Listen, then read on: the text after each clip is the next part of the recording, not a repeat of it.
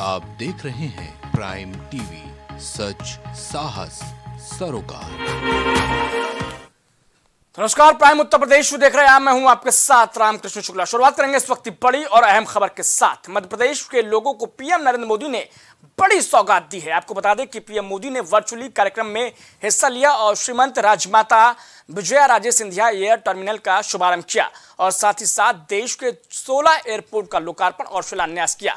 वहीं इस कार्यक्रम में राज्यपाल मंगू भाई पटेल के साथ मुख्यमंत्री डॉक्टर मोहन यादव समेत कई पदाधिकारी मौजूद रहे। प्रधानमंत्री को बधाई, हमारे नागरिक उड्डयन मंत्री श्रीमान सिंधिया जी को बधाई, हमारे महामहिम माननीय मंगूभाई पटेल साहब, विधानसभा अध्यक्ष माननीय नरेंद्र सिंह जी तोमर, अपने सबने मिलकर के ये 16 माह के अंदर एक अद्वितीय, एक एयरपोर्ट बनाया इसकी शुभ, बधाई भी देना चाहूँगा और कम समय में इतनी बड़ी उपलब्धि हासिल की है। साथ ही साथ एक और बड़ी बात है आज स्वर्गीय माधवराव सिंधिया जी की जन्म जयंती है। ये इतिहास का दिन बन गया ग्वालियर और प्रदेश के लिए। मेरी अपनी ओर से बधाई। जहाँ आपका और हमारा ग्वालियर का भव्य टर्मिनल का उद्घाटन हो रहा है। वही देश के अंदर पंद्रह एयरपोर्ट टर्मिनल पचहत्तर वर्ष में ये कभी नहीं हुआ कि एक कार्यक्रम में पंद्रह एयरपोर्ट टर्मिनल 9,811 करोड़ रुपए के पाँच नए एयरपोर्ट, सात नए टर्मिनल, तीन टर्मिनलों का भूमि पूजन। पंद्रह एयरपोर्ट्स का कार्यक्रम एक साथ प्रधानमंत्री जी के उपस्थिति में किया जा रहा है।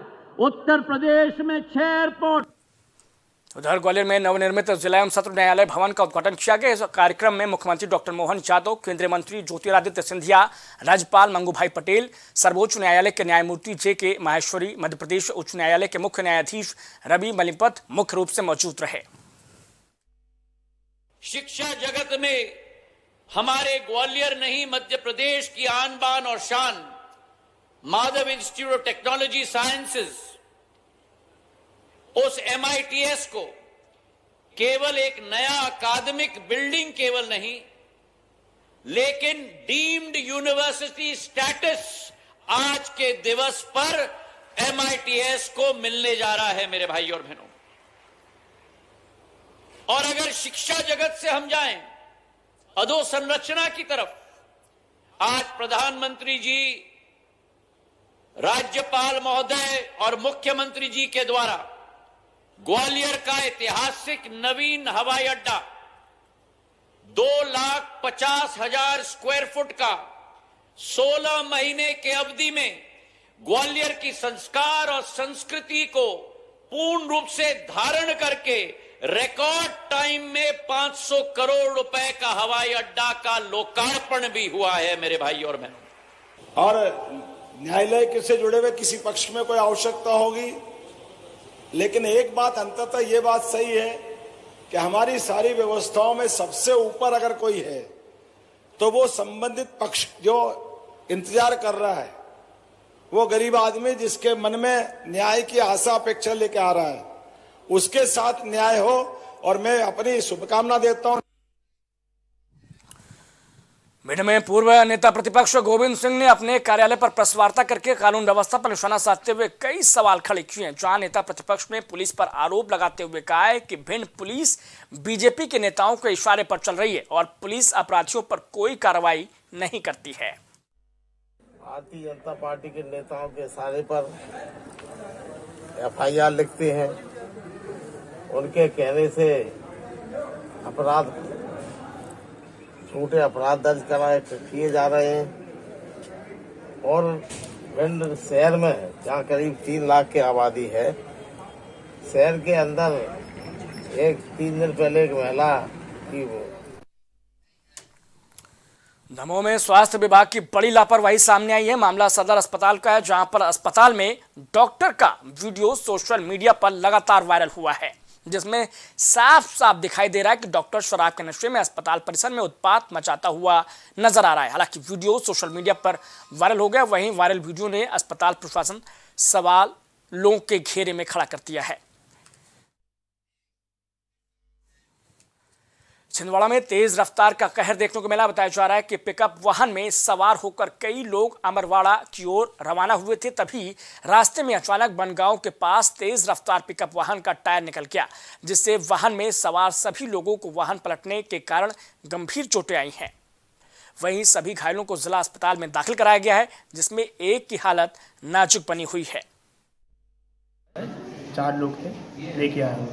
नहीं तो किस चीज़ से एक्सीडेंट हुआ या क्या? है? गाड़ी का चक्का निकल गया मैं निकल गया। कौन सी गाड़ी? पिकअप कहाँ से कहाँ जा रही थी? अमरवाड़ा छिंदवाड़ा से अमरवाड़ा कितने लोग थे उस गाड़ी में कम से कम चार। उसमें मेरे को तो जानकारी नहीं मैं लेके भर आया हूँ। टायर निकल के भर गया। कौन सी गाड़ी? पैकअप है? पैकअप कितने लोग घायल हुए? पाँच लोग। पाँच से छः लोग। कम है। दो। चार मान चार लोग कहाँ से कहाँ जा रहे थे आप लोग? अमरवाड़ा छिंदवाड़ा से अमरवाड़ा जा रहे हैं। एक ही परिवार के एक पूरे? सब अलग अलग रही क्या नाम है आपका? मेरा राकेश वर्मा। ये कितने बजे? बुरहानपुर के नेपानगर और नवरा के वन क्षेत्र में पुलिस संघ वन विभाग ने संयुक्त तो फ्लैग मार्च निकाला, जिसमें 200 से ज़्यादा अधिकारी कर्मचारी शामिल हुए। इसके ज़रिए यह सुनिश्चित करने की कोशिश की गई है कि वन क्षेत्र में अतिक्रमण न हो और साथ ही साथ आगामी होली पर्व पर वन कटाई न हो। वहीं इस दौरान ड्रोन कैमरे से भी वन क्षेत्र की सर्चिंग की गई है। ग्वालियर में बदमाशों का खुलेआम आतंक देखने को मिल रहा है मामला। ग्वालियर थाना इलाके का है, जहाँ पर बाइक सवार बदमाशों ने दिन दहाड़े फायरिंग कर दी। वहीं फायरिंग में एक युवक गंभीर रूप से घायल हो गया है और एक महिला बाल बाल बच गई आपको बता दें कि बदमाशों ने मामूली बात को लेकर ताबड़तोड़ आधा दर्जन गोलियाँ बरसा दी और मौके से फरार हो गए।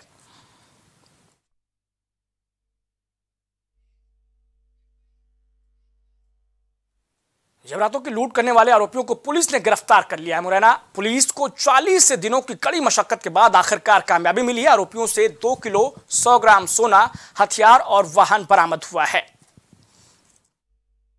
और पुलिस ने जो हमारे घटना में संलिप्त दो आरोपी थे, उनको राउंड अप किया, उनसे पूछताछ की गई और उनके द्वारा उनमें से जो एक आरोपी है, जो एक काफ़ी पुराना शातिर बदमाश है, पूर्व में भी उस पर कई रिकॉर्ड रहे हैं और उसके जो यूपी से जहाँ से उसका संबंध था वहाँ पर उसके जो पिताजी थे उनके द्वारा भी जो सामान है उसको भी बाद में खपाने की नीयत से उन्होंने कई जगह छुपा दिया था।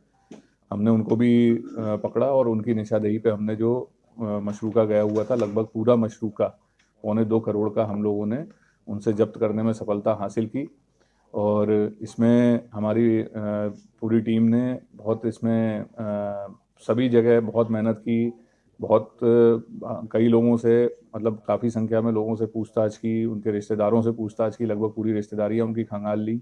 उसके अलावा जो जहाँ जहाँ उनकी सूचना मिलती थी, कई ऐसा पता चला था कि वो मंदिरों में रहते हैं तो आसपास के लगभग सौ डेढ़ सौ मंदिर हम लोगों ने इस क्षेत्र के पूरे छान मारे थे। और लगभग पूरी मेहनत हम लोगों ने जब इसमें की तो उसके उपरांत हम लोगों को इसमें सफलता मिली। और लगभग पूरा पौने दो करोड़ का मशरूका इसमें हम बरामद करने में सफल हुए। कितने आरोपी पकड़े गए? इसमें अभी तीन चार आरोपी शुरुआत में हम लोगों ने गिरफ़्तार किए थे उसके बाद तीन आरोपी अभी हम लोगों ने और किए हैं। ग्वालियर में मामूली विवाद के चलते दो गुटों में विवाद हो गया। विवाद इतना बढ़ गया कि एक दुकानदार परिवार के ऊपर बदमाशों ने फायरिंग कर दहशत फैला दी। दबंगों ने धारदार हथियार से हमला किया है जिसमें पीड़ित परिवार के सदस्य के एक हाथ में चोट भी आई है। फरियादी पक्ष ने कुछ वीडियो पुलिस को सौंप कर कार्रवाई की मांग की है। मतलब नीरज गुलशन या दो दो तीन लोग ऐसे थे जिन्होंने फ़ोन लगा दिया कि बॉबी ने इसको मारा है और कूटा है। तुम इसको बचाने ले आए। तो राय वगैरह जो भी थे, वो बाकी गुलशन नीरज, ऋषि, आनंद, विकास, अभी डॉक्टर राय, जिस बाकी सारे लोग अपने बहुत सारे लोगों को लेकर हमारे घर पे आ गए। तो वैसे ही वहाँ पे चीना झपटी हुई, फिर उन्होंने चाकू टाइप उनके हाथ में कुछ था। तो उन्होंने वहाँ पे आके मुझे मारा कूटा और मम्मी पे भी हाथ उठाया मेरी पे। इतना फिर उन्होंने गोली निकाली बंदूक। जैसे उन्होंने बंदूक निकाली, हम वहाँ से भाग के अपने घर में कुंदी लगा ली अंदर से। फिर उन्होंने हमारे घर में छः गोलियाँ चलाई। छः गोलियाँ चलाई जिसमें से तीन गोली हमारे घर पर लगी दो हवाई फायर हो गई। और ऐसे फिर फिर हम जहाँ पे आ गए थाने में। सर जानता था मैं पहले जानता नहीं था लेकिन मैंने वो नाम पूछा। दो तीन दो को जानता था दो हमारे गली में भी थे दो। घटना चंदन नगर ग्वालियर शिव शक्ति नगर कलारी के पास। ये दोनों पक्षों की अभी झगड़ा हुआ है तो अभी मेरी वीआईपी ड्यूटी है दोनों पक्ष को वहाँ थाने में बैठा लिया गया है। और जैसी भी उनकी उचित कार्रवाई होगी फायरिंग हुई है किसने किया है वो उसकी जानकारी लेके और जाँच शुरू हो जाएगी कितनी फायरिंग की गई बताया जा रहा है? अभी ऐसा तो हमें जानकारी में नहीं आया फायर ज़रूर हुआ है ये जानकारी में ज़रूर है। वजह क्या है? क्या क्या वजह आपसी विवाद है दोनों पक्ष नए लड़के हैं आपसी विवाद ही बातों बातों विवाद हुआ उसी पे उन्होंने फायरिंग कर दी है। सर घटना कहाँ की बताई जा रही है? ये घटना चंदन नगर की है और जैसे ही हम लोग यहाँ से वीआईपी ड्यूटी से जाएँगे उसके बाद कार्रवाई करेंगे। सागर ज़िले में देवरी कला गौरछामर में शराब दुकानदारों की दबंगई लगातार बढ़ती जा रही है। निर्दोष मजदूरों को बेरहमी से पीटते नज़र आ रहे हैं। ताज़ा मामला महाशिवरात्रि की रात्रि करीब एक बजे का है। वार्ड नंबर चार के फूलबाग में गौरछामर के मजदूर गोविंद राय ने इस मामले में रिपोर्ट दर्ज कराई है।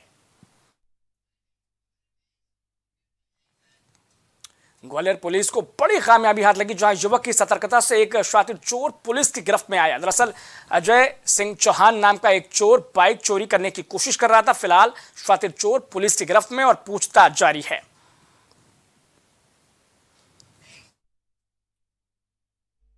अभी हाल ही में चार दिन पहले एक चोरी का सीसीटीवी फुटेज सामने आया था, जिसमें चोर स्पष्ट तौर पर बाइक चुराते हुए दिखाई दे रहा था। पड़ाव पुलिस ने उसमें गंभीरतापूर्वक कार्रवाई करते हुए एक वाहन चोर को उठाया था और पूछताछ में उसे हाल ही में जो चोरी हुई बाइक है उसको उससे बरामद किया है एमएलबी कॉलोनी से और साथ ही उससे पूछताछ कर रहे हैं कि उसने और इस संबंध में कौन सी बाइक बाइक कितने बेचता था? आपके नशे का आदि है क्या? अभी हाल ही में जो बाइक चुराई थी उसने किसी के यहाँ उसको झूठ बोल करके सुरक्षा रखवाई थी और पहले पूर्व में कौन सी चोरियाँ की हैं और उसका किस प्रकार सौदा किया इसकी हम जाँच कर रहे हैं।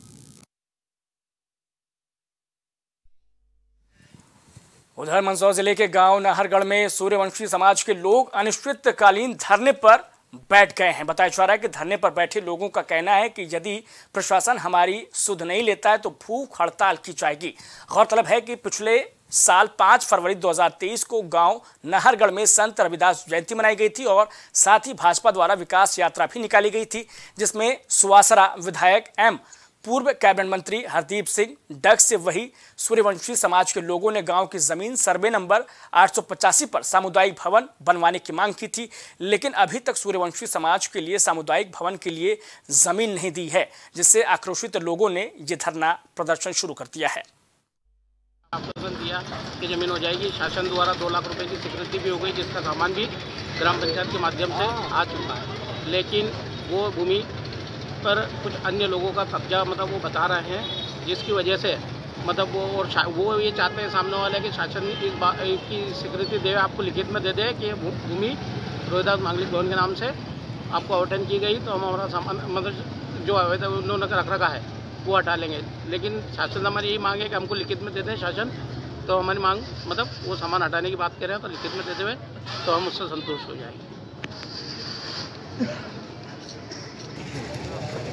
क्या आपको भूमि आवंटन हो चुकी है? अगर हो चुकी है तो क्या अड़चन क्या आ रही है? मेन बात बताइए आप।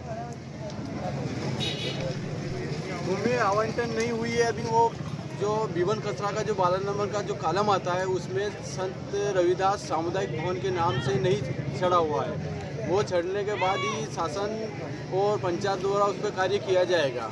आप लोग किन किन मतलब अधिकारी व जनप्रतिनिधियों से अभी तक मिल चुके हैं? हम तहसील हमने हरदीप जी को ज्ञापन मुरैना में गौ माता को राष्ट्र माता का सम्मान दिलाकर गौवंश हत्या मुक्त कराने के लिए राष्ट्रीय हिंसक आंदोलन के रूप में भारत बंद का आह्वान किया गया था, जिसके तहत भारत के गौ भक्तों ने अपने अपने प्रतिष्ठानों को बंद रखा और सड़कों पर गौ माता राष्ट्रमाता का महासंकल्प लिया। गौ सेवकों ने सौरभ शर्मा, अंशुल सिकरवार, प्रशांत शुक्ला रुद्र प्रताप सिंह, रणबंका समेत तमाम लोग शामिल हुए। तो प्राइम मध्य प्रदेश में इतना ही बने रहिए प्राइम टीवी के साथ। कुछ भाव पुष्प। आप देख रहे हैं प्राइम टीवी सच साहस सरोकार। प्रधानमंत्री श्री नरेंद्र मोदी का संकल्प है कि देश का हर नागरिक पोषित, सशक्त और समर्थ बने, जब पूरा विश्व इस सदी की सबसे बड़ी महामारी कोविड 19 से जूझ रहा था।